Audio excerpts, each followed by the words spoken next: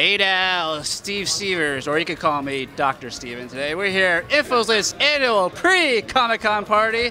My cape flying into it. Let's go see who we can talk to the red carpet. How are you doing this fine evening, sir?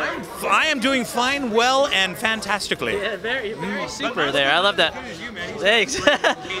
well, here at Bionic Buzz, we're all about people's passion. Where did your passion for acting and storytelling come from? Were you watching a certain movie or a TV show, or did it kind of come naturally for you? You know, it starts out you watching TV shows and uh, you know whatever as a kid, and then it becomes cops and robbers.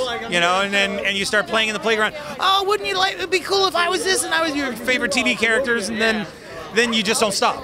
You know, you just keep going as, as an adult, and you come up with uh, adult reasons to keep doing it, like I need money or. Uh, or it's part of my therapy or part of my passion. No, you're just pretending for a living. That's all you're doing. What I love about cosplay.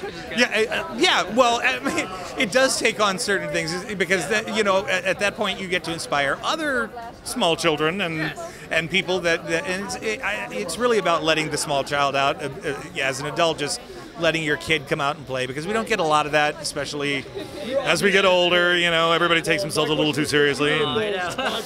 Yeah. What upcoming projects coming up for you? Are you allowed to talk about? I am allowed to talk about it. Nobody will kill me, I don't think. Uh, Midtown LA, which is a spin-off of Midtown New York. Uh, Midtown New York is on Amazon Prime, and uh, so will be mine, Midtown LA.